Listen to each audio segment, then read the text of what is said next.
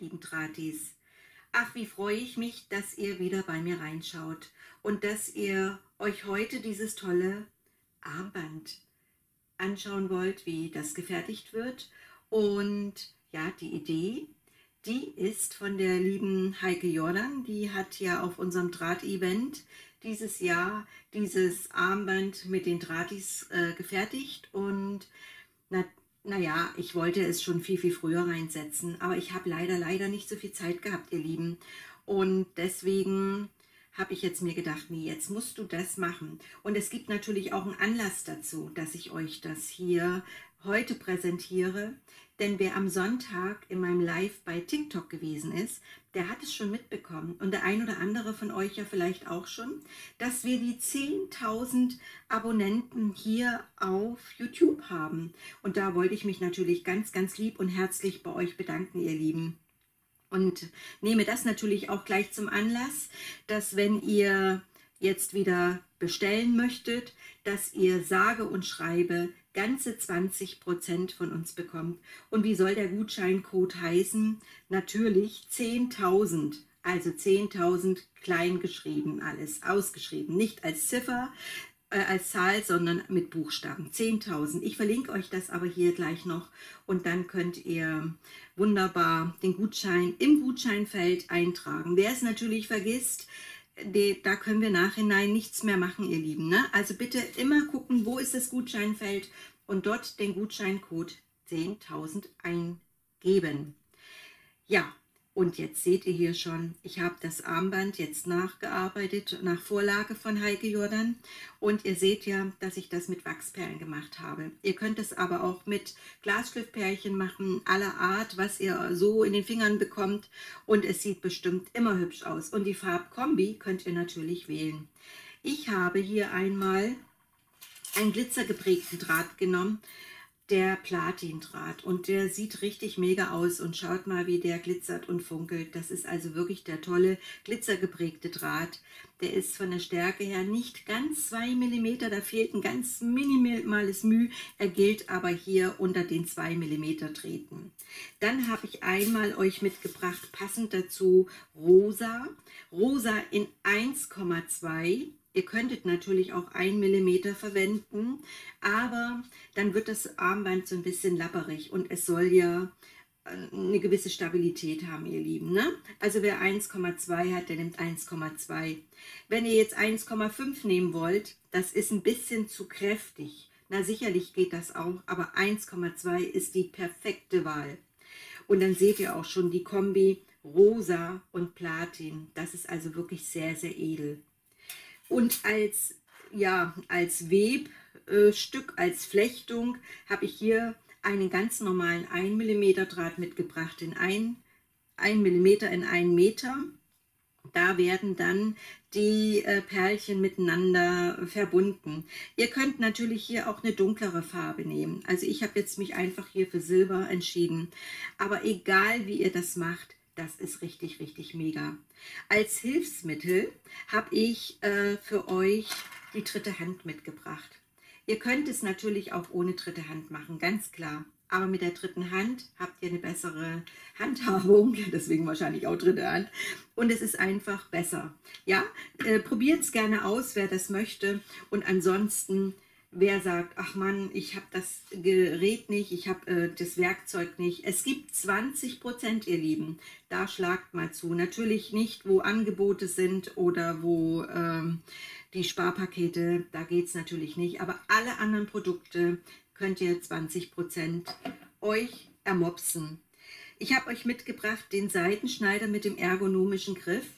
Bei diesem Armband finde ich es besser, wenn man diesen nimmt. Der hat nämlich eine ganz, ganz spitze Spitze, hätte ich jetzt gesagt, weil am Ende könnt ihr akkurat die Drähte damit abschneiden. Also der ist wirklich mega, mega. Wer ihn noch nicht hat, äh, haut ihn euch ins Warenkörbchen. 20% gibt es da drauf. Und ähm, dann habt ihr dieses gute Teil. Es ist auch ein hochwertiges Werkzeug, ihr seht es schon, Edelstahl. Ebenso Edelstahl auch eine Rundzange. Ihr könnt aber gerne, die gibt es in roten Griff, äh, ich glaube die mit den grünen habe ich gar nicht mehr, das weiß ich jetzt gar nicht, aber Ihr könnt auch eine ganz einfache Rundzange nehmen. Rundzange ist immer Rundzange. Ne? Also kramt euch die Werkzeuge und Drähte raus, was ihr habt. Und ansonsten bestellt ihr das. Ihr wisst ja, wo, das, äh, wo es die Sachen gibt. So, ich habe von den glitzergeprägten Draht in Platin, habe ich zwei Stränge a 35 cm abgeschnitten. Ebenso den in rosa 1,2 mm starken Draht, auch den in 35 mm. Und dann schneidet ihr euch bitte ein Meter ab von den 1 mm Draht und öffnet den und dann einmal die Hälfte nehmen. Das sind ja dann 50 cm. So ungefähr jedenfalls, ihr Lieben. Und dann nehmt ihr euch den 1,2 mm Draht und wickelt euch den hier so rüber. Lasst gerne ein bisschen mehr Platz. Ich habe jetzt hier, was wird es sein? Ich schätze mal so 5,5 cm. Ja, nicht ganz, das sind 6,5 cm.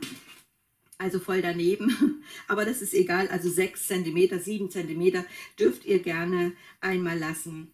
Jetzt muss ich mal gucken. Ich habe hier ein Werkzeug vergessen, leider, mit der Backenzange. Also, äh, damit das jetzt hier nicht immer rutscht, nehmt ihr euch auch hier die Backenzange zur Hand. Also drückt euch das ganz, ganz vorsichtig einmal hier so drauf. Damit ist das fest fixiert, ihr Lieben. Und der Draht wird nicht demoliert. So sieht es jetzt aus.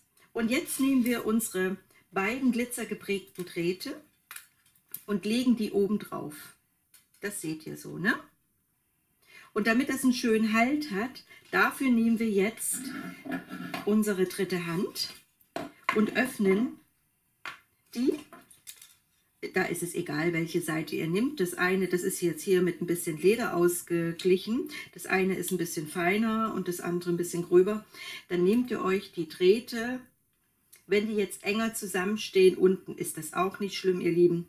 Und packt es euch richtig schön fest hier rein. Also nicht nur am Anfang, sondern schiebt euch den Draht richtig schön weit hinter. Und dann mit dem kleinen Holzblock dann hier durch. Der 1 mm Draht oder 1,2, der macht jetzt hier gleich mal die Biege, aber wir kriegen ihn, wir kriegen sie alle. So, und dann richtig schön hier fest und dann ist, sitzen die Drähte auch richtig gut. Und am Ende wird es sowieso geöffnet, also von daher braucht ihr keine Bedenken haben. Jetzt haben wir die Drähte alle so liegen. Und jetzt nehmen wir uns die schönen Perlen. Ich habe mich hier für die Wachsperlen entschieden.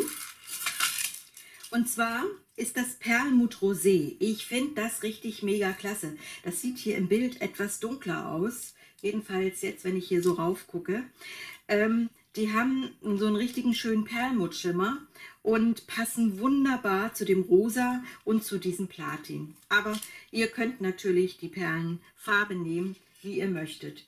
Und dann geht das ganz entspannt. Ihr fädelt euch hier eine Perle auf, richtig schön weit bis runter. Und jetzt nehmt ihr den Draht, den ersten, den 1 mm Draht und der kommt jetzt hier dazwischen, zwischen dem mittleren Draht. Also den schieben wir jetzt hier einmal durch. Ich mache es auch ganz langsam und zeige das richtig hier in der Kamera. So. Und dann einfach wieder nach unten weg. So, der liegt ja in der Mitte. Und das machen wir jetzt hier bei der anderen Seite natürlich auch. Wir nehmen den linken Draht und führen ihn hier einmal rüber und durch den zweiten Draht, also zwischen den äh, beiden 2 mm Drähten an der rechten Seite von dem 1,2 mm Draht, da geht ihr durch. Ach, was war das jetzt gerade für ein Satz, ihr Lieben? Aber ihr versteht das. Am Anfang habe ich auch gedacht, äh, ich war ja zwar bei den Drahttreffen dabei, klar, wo soll ich sonst sein, aber ich habe nicht direkt zugeschaut, wie dieser Workshop von Heike äh, gemacht wurde mit diesem Armband und alle waren sie begeistert und ich hatte das eigentlich schon, schon versprochen, schon länger euch mal zu zeigen und vor allen Dingen für die Leute, für die lieben Drahtis, die nicht mit dabei waren. Wir schieben wieder eine Perle auf. So, und jetzt geht das wieder. Die beiden Drähte liegen immer unterhalb. Die 1 mm Drähte liegen immer unterhalb von diesen 2 mm Glitzer geprägten Drähten. Und jetzt geht ihr wieder nach oben und da, wo die, die linke Seite vom 1,2 mm Draht, also von dem rosan Draht, da gehen wir hin und zack. Gar nicht so weit drücken, also so, dass der 1,2 mm Draht immer schön in der Mitte liegt. Und auch den nehmen wir jetzt, schlagen ihn rüber und jetzt müssen wir hier durchgehen. Also hier durch muss der Draht. So. Und einmal durchgehen und wieder zur Seite. Das werden wir jetzt, ich zeige das euch jetzt nochmal. Und dann werde ich das hier etwas schneller machen. Wahrscheinlich nicht im schneller Durchlauf, ich muss mal gucken. Und ansonsten quatschen wir. Also wieder den Draht von unten nach oben einmal hier durch, linke Seite vom, 1, vom Rosandraht und den 1 mm Draht nehmen wir jetzt und schlagen ihn rüber über diese Perle und rechte Seite vom rosa Draht. Ich hoffe, dass das jetzt hier, wenn ich das im Video zeige, jetzt weiß ich gar nicht, nicht, dass das dann spiegelverkehrt rüberkommt, aber ihr wisst, wie ich das meine. Ne? So, und jetzt kommt schon wieder die nächste Perle. Je nach Armdicke, Armstärke, ich habe jetzt hier einmal 16 Perlchen genommen. 16 Millimeter, also 16 Perlen, 16 Wachsperlen habe ich hier genommen. 8 Millimeter Stärke und nennt sich Perlmut Rosé. Aber wir haben eben auch ganz andere Farben noch, die ihr gerne dafür benutzen könnt. Na, so, also das ist ja ich sage immer Wurst, Piepe. Ja.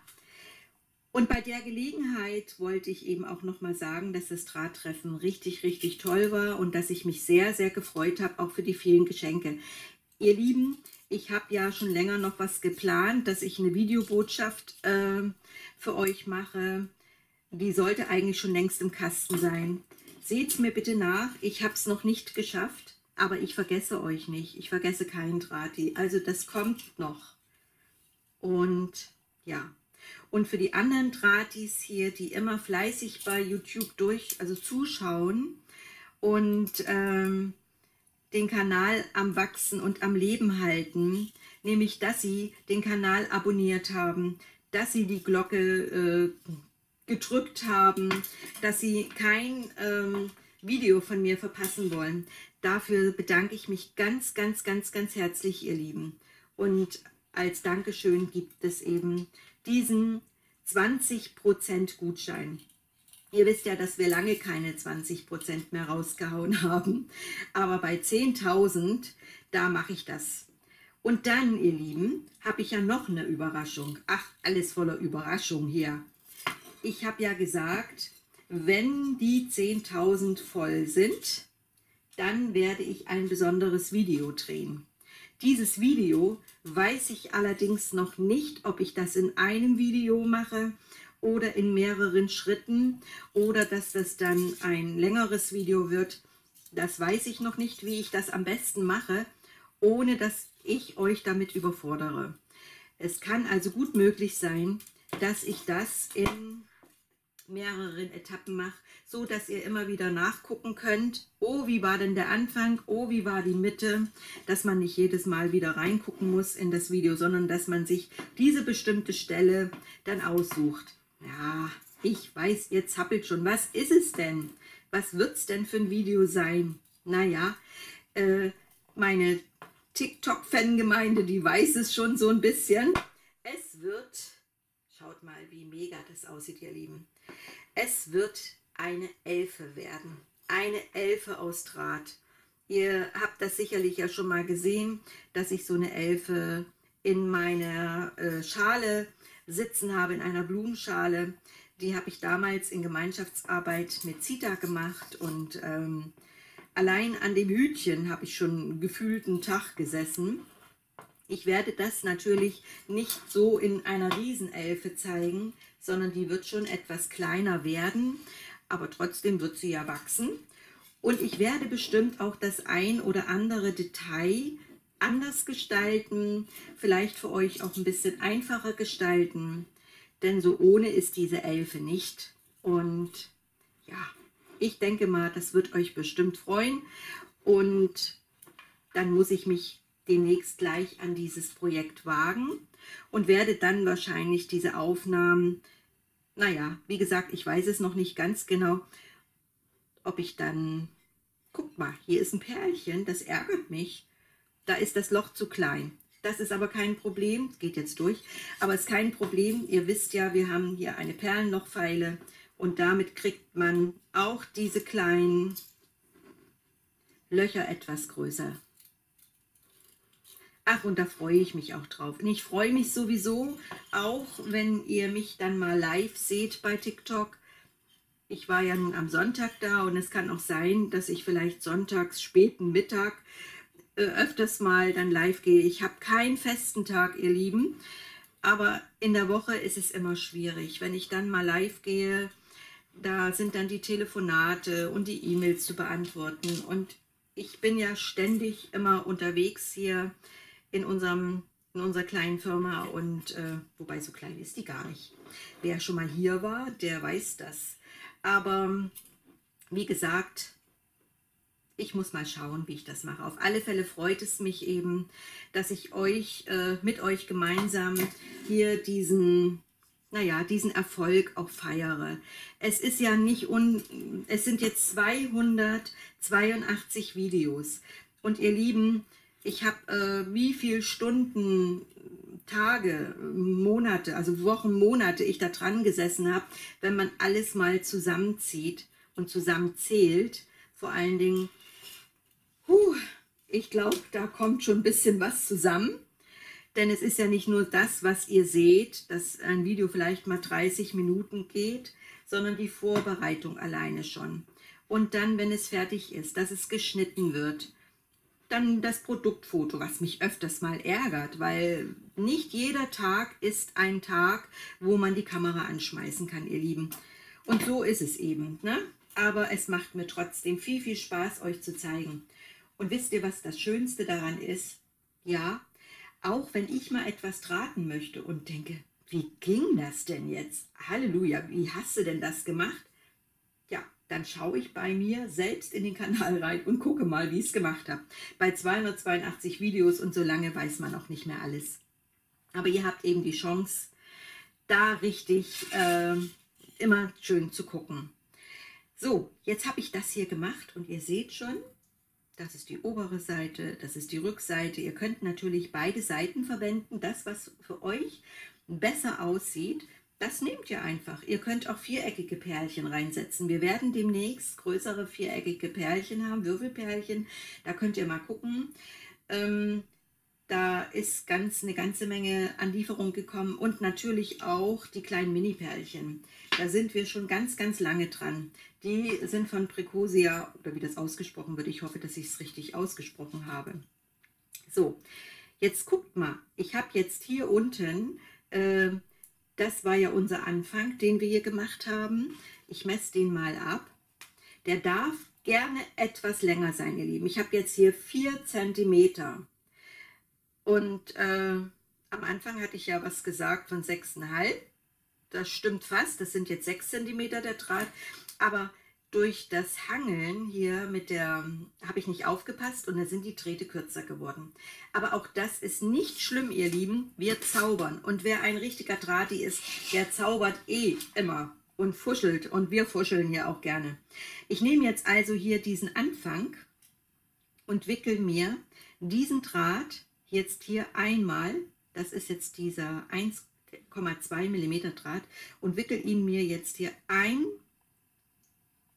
zweimal hier um diesen Draht herum, um diesen glitzergeprägten 2 mm Draht herum. Und dann schneide ich das ab. Wenn ihr das abschneidet, ihr Lieben, lasst ruhig mal ein Stückchen Platz. Schneidet es nicht ganz an der Kante. Aus dem einfachen Grunde, Ihr seht dann A, ob ihr das dann doch nach oben legt, das, das Reststückchen, oder ob ihr das unten ein bisschen einbaut. Und dann kommt ihr auch besser mit der Rundzange dran. Ich habe das im Probeversuch kurz geschnitten und dann kam ich mit der äh, Rundzange nicht mehr so richtig rein und da verguckselt ihr den Draht. So, deswegen lassen wir den jetzt erstmal hier Und jetzt nehme ich diesen Draht und mache ihn so ein bisschen spitz. Ich lege ihn praktisch jetzt hier so ein bisschen über Kreuz und werde den Eindraht um den anderen schieben. Da einmal rum und dann noch einmal rum. So, und den könntet ihr jetzt auch abschneiden und ihr könntet dort jetzt, ähm, na, wenn ihr den gekappt habt, einmal ein Kringelchen machen und dann kann man das wunderbar raufschieben. Ihr könnt aber auch zwei machen. Ich schneide es jetzt mal für euch jetzt hier ab. Und dann nehme ich natürlich die Rückseite. Und da ist nämlich diese, dieser Seitenschneider, dieser Drahtschneider richtig gut. Nehmt auch gerne eine Backenzange nochmal und drückt es euch richtig ran. Wichtig ist, ihr müsst es nicht feilen, das Ende, aber wichtig ist, wenn ihr das euren Kunden anbietet oder verschenkt, dass das eben auch nicht kratzt, ihr Lieben. Ne? Und jetzt könnt ihr euch hier einen kleinen Kringel machen. Ich habe ja erwähnt, dass ich das leider zu kurz abgeschnitten habe. Ich möchte mit euch aber nicht das Video neu drehen. Aus dem einfachen Grunde, wir fuscheln jetzt hier einfach mal, denn auch euch kann das mal passieren. Und dann seht ihr, was daraus entsteht. Immer, wenn ihr die Rundung gemacht habt, einmal abschneiden den Draht und aufpassen beim Abschneiden. Ich habe mir so auch schon mal in die Fingerkuppe geschnitten. Halleluja, das äh, tut gut Aua wir tun jetzt mal so, als wenn der Kringel etwas größer ist. Ne? Geplant war es jedenfalls. Aber nicht verzagen. Wir machen es. Und jetzt äh, nehmen wir uns den Haubock und hämmern das Ganze mal ein bisschen. Achtung, Ohren zuhalten und nicht auf die Finger oder Perle hauen. So, und dann funkelt das nochmal so richtig. Und jetzt könnt ihr euch den Draht hier einmal so rüberlegen. So, dann habt ihr einmal einen sauberen, vernünftigen Verschluss. Und am anderen Ende habe ich ja gesagt, mit dem Draht, mit den 1,2 mm Draht, dass man den nicht zu kurz schneiden soll, dass ihr praktisch mit der Rundzange hier noch schön rein könnt und euch dann diesen Draht so reinschlagt. So. Und dann ist das wirklich eine schöne, saubere Geschichte und es piekst nicht. Ihr könnt auch zur Not mit der Backenzange noch mal rübergehen. Aber schaut mal, das ist jetzt wirklich ein sehr, sehr edler Abschluss. Und nun haben wir ja noch die andere Seite. Jetzt haben wir hier aber ein paar Drähte mehr. Denn diese Drähte waren am Anfang ja nicht. Und da habe ich jetzt auch geguckt, wie machst du das am besten? Natürlich jetzt nicht hier nochmal rumschlagen, aber auch da könntet ihr nochmal so ein Muster machen. Ihr seht das. Also es ist sehr, sehr vielfältig, dieses Armband. Aber wir wollen ja das Armband machen, wie Heike es gemacht hat. Und ich weiß auch noch nicht, wie ich das nenne. Da muss ich jetzt nach dem Drehen, muss ich jetzt gucken, wie soll das denn mal lauten. Das, was für ein Name soll das schöne Armband bekommen. So, ich wickel jetzt praktisch zweimal den Draht hier so rüber. Hier habe ich ihn jetzt einmal nach oben und gehe da nochmal durch. Das überlasse ich gerne eurer Fantasie, wie ihr den jetzt einwebt. So, jetzt, theoretisch wird das aber abgeschnitten. Und jetzt ist es so, dass ich den Draht noch habe und den Draht. Also werde ich diesen Draht nehmen, den einzelnen. Sicherlich könntet ihr den auch noch zum Schneckchen machen und hier mit ransetzen. Das mache ich jetzt hier bei dem mal nicht. Ich nehme jetzt diesen 1,2 mm Draht und gehe hier einmal und ich komme mal näher ran zu euch. Ich glaube, das ist besser. So einmal und zweimal und lasse den jetzt auch wieder hier ein bisschen stehen. Schneide den etwas kürzer ab weil ich einfach gucken will, wie gestalte ich das. Und nehme auch wieder diesen Bogen. Ihr seht schon, ich gehe jetzt hier runter und den über Kreuz. Und muss natürlich auch wieder diesen Draht, diesen einen Draht, so ein bisschen wickeln. Das heißt, ich wickel den jetzt hier einmal und zweimal jetzt hier herum. Gerne mit der Backenzange einmal noch mal richtig glatt drücken. Und jetzt habt ihr hier die ganzen Trädeleins. Und da könnt ihr den einnehmen und durchs Löchlein stecken hier. Ein bisschen ziehen und gerne auch noch mal ein zweites, bevor ihr es abschneidet, weil dann habt ihr den Draht richtig schön, schaut mal, mit der Rundzange könnt ihr das natürlich auch noch ein bisschen sauber zusammendrücken. Das sieht dann aber kein Mensch mehr. Das erzählen wir natürlich auch kein mehr. So, und hier gehen wir jetzt hier auch wieder einmal durch. Da müssen wir gucken, wo wir hier ein Löchlein finden wo das ein sauberer Abschluss wird.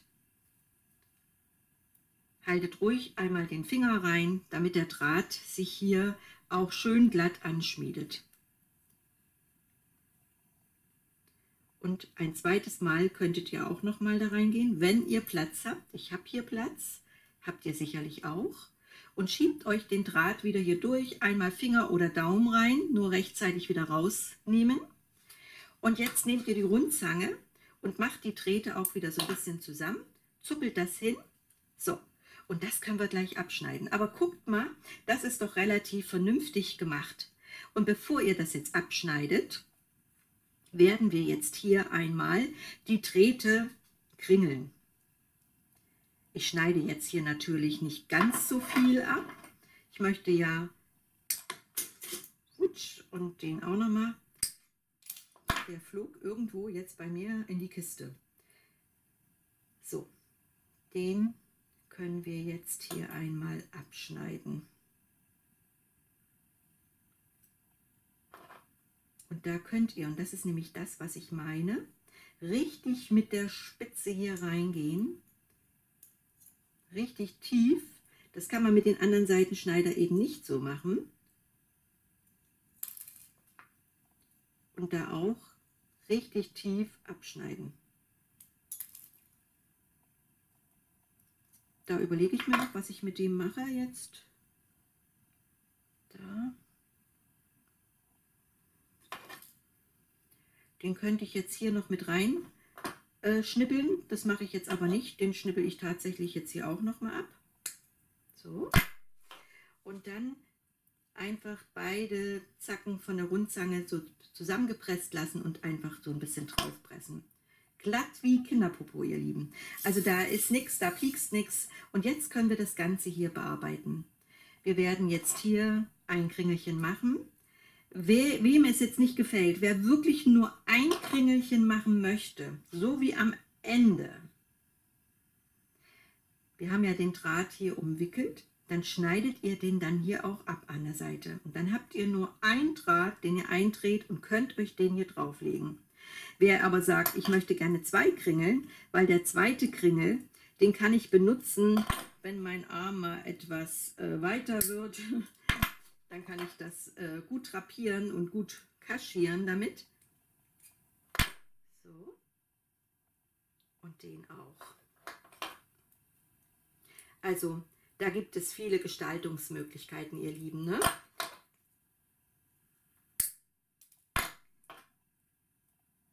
So, und den Rest, also den, den Anfang und das Ende, beziehungsweise die beiden Kringel, also so bleibt es nicht, auf keinen Fall. Aber das hämmer ich jetzt auch wieder. Und dann lege ich mir jetzt auch wieder die linke Seite, die untere Seite. Ihr wisst ja, ich liebe das ja lieber, wenn es glatt ist.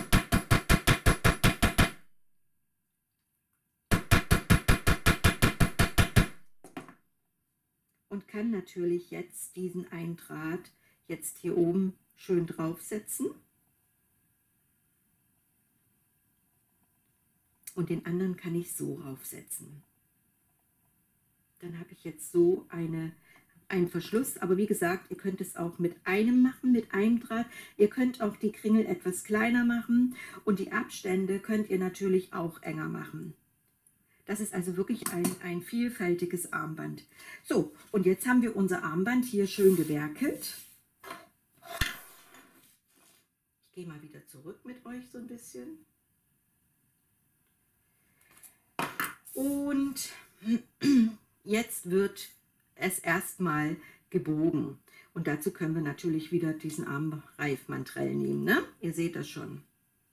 So, richtig schön ankicken Ihr braucht natürlich nicht unbedingt so ein Armreifmantrell, aber viele oder einige kommen damit auch nicht so gut klar und sagen sich, äh, ich eine Wasserflasche nehme und das wird nichts, also mache ich das lieber so.